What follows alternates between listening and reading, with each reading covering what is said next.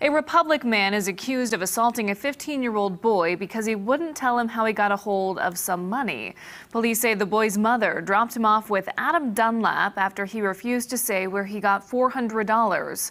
Dunlap allegedly hit the boy, put him in a chokehold, then forced him to stand in an open garage with a fan blowing on him when it was 20 degrees outside. Dunlap is due in court this Wednesday.